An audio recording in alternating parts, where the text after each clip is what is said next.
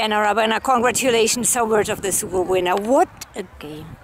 Thank you very much. Yeah, it was a great performance, but um, yeah, very much focused on Sunday now.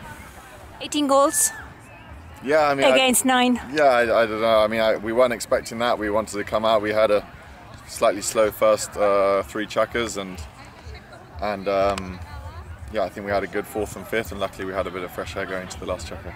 So you really did expect that you kind of, you know, completely lock them out. That's no, I good. didn't, no, I didn't. I didn't think we would. I think it was a. I was always expecting it to be a very close game, and up until the fourth chukker, I think it was until we got a few goals there from the lineouts, and we were able to capitalise.